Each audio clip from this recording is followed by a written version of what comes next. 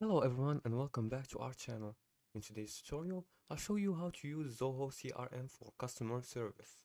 Zoho CRM helps you manage customer interactions and improve satisfactions.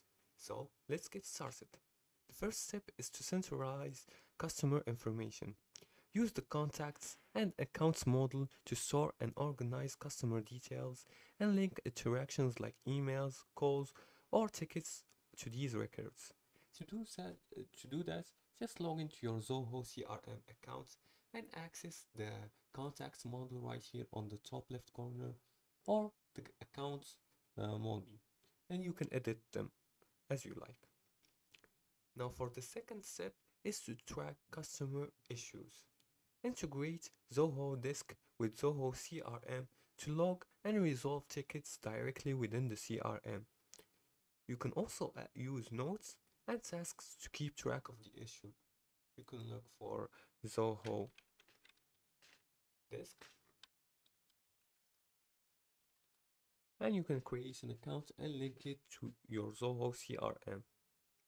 Now for the third step is to use automation and reports.